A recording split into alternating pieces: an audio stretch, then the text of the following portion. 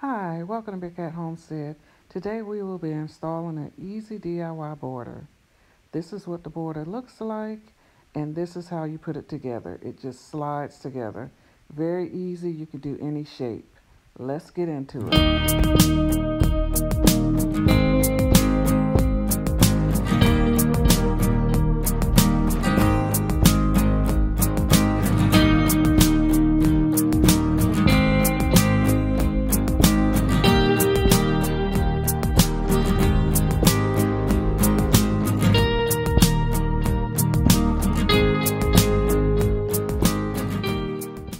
Like this type of content and you want to see us get this garden together, go ahead and like, comment, subscribe, share, and follow.